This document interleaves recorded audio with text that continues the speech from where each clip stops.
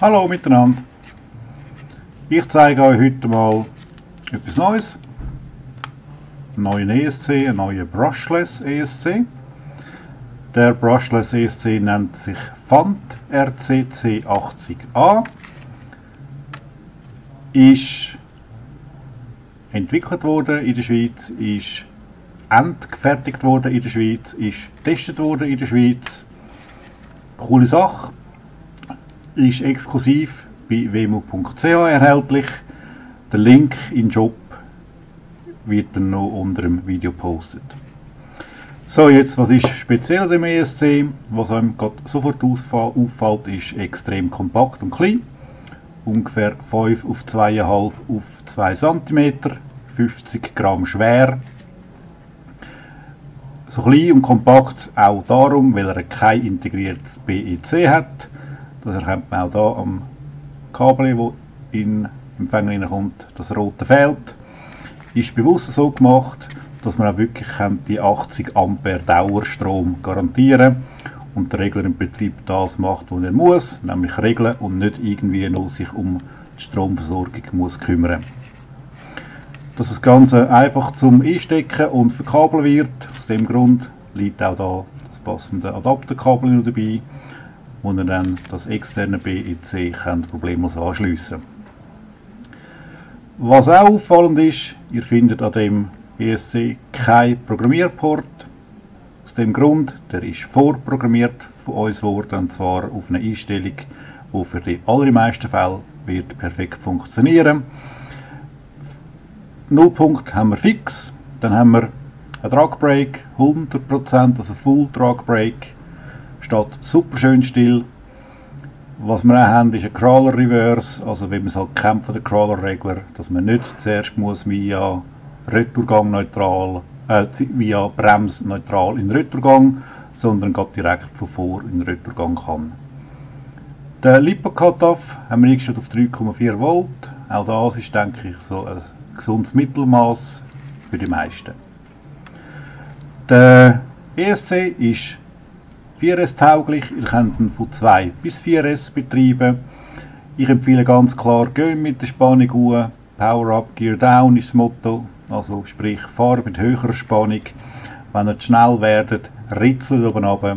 Das gibt schlussendlich dann äh, das Optimum zwischen Geschwindigkeit und Power, man es braucht. Was auch ist, vor allem super cool, er ist praktisch geräuschlos, also er treibt so die Motoren an, vor allem die Outrunner-Motoren, dass sie nicht pfeifen, wie man es vielleicht ab und zu ja, auch schon gehört hat, solche, die zum Beispiel Castle-Motoren brauchen, ob das ein Mamba X ist oder ein Copperhead oder irgend so etwas. Man hört ihn also praktisch nicht. Mit 4S gibt es so ein kleines Turbinenpfeifen, Turbinenheulen, ganz leicht, aber absolut im grünen Bereich, meiner Ansicht nach. Dann 80 Ampere Dauerbelastbarkeit. Also ihr könnt da wirklich auch grobe Motoren dran hängen. Outrunner 14-polige, für das ist er optimiert. Was auch geht, sind Inrunner-Motoren ab 6 Pol, 45er Größe. Bitte keine 2- oder 4-polige Motoren, das wird nicht richtig funktionieren. Der Regler biete ich im Shop an für 149 Franken. Es gibt eine Option, dass ihr den als Sätli bestellt, also sprich einmal der Regler plus zum Beispiel das 10 Ampere Beck von der Castle oder auch V2 14 Ampere Beck von der Castle. Wenn jemand wirklich Waterproof machen dann kann er auch 2P 15 Ampere Castle Beck nehmen. Ist im Shop so auswählbar, dass ihr das als Sätli bestellen könnt. Aktuell ist eine ganz kleine Quantität von der Regler an Lager. Wird jetzt aber aufgestockt dann auf Ende Woche, hoffe ich auf jeden Fall, dass er dann eigentlich immer ab Lager wird lieferbar sein.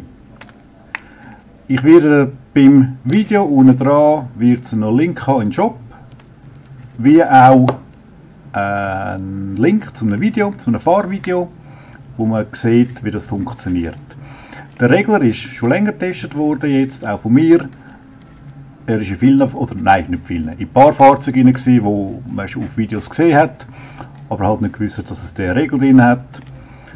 Und funktioniert einwandfrei, bin völlig begeistert davon, finde es eine coole Sache.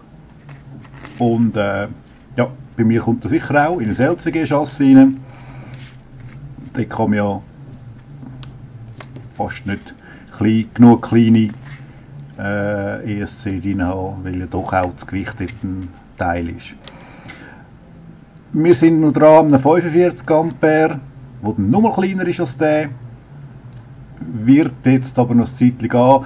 Das ist ein Regler, der dann vor allem im MOAS eingesetzt wird, wo es halt wirklich noch enger zu und her geht, wo noch leichter sollte sein.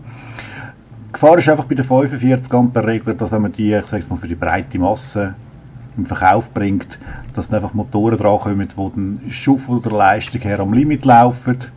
Darum 80 Ampere dauernd, da deckt er eigentlich alles ab. So, das wäre es gewesen.